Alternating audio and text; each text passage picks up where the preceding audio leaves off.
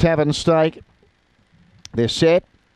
Off they go from the inside. Springvale Hope out okay. Slippers time shows good speed though. Favourite Aston Hinkley's last. Slippers time gave them the slip around the first turn. Led from Benno Highbury Hustle. Favourite Aston Hinkley's picked up some ground. Then Yes Sarge, Springvale Hope and Boy George off the back. Slippers time led. Benno going after it. Three further back. Highbury Hustle and Aston Hinkley on the turn. Slippers time challenged now by Benno and getting up on the inside. Highbury Hustle.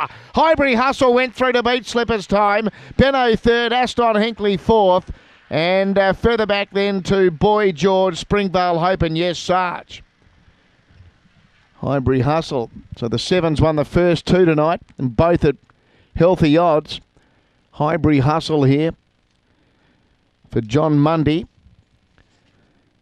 And uh, it's one at 1630, 1470, and 1180 on the totes, running 3015, 753 and 8. 753 and 8. Highbury Hustle by DJ's Octane out of Octane Surf. John Mundy, the owner trainer. Number 5, Slippers Time by Lochinvar Marlowe out of Slippers Tonic for Barry Jones. And Benno by Brett Lee out of Motown Girl for Yvonne King. 7 5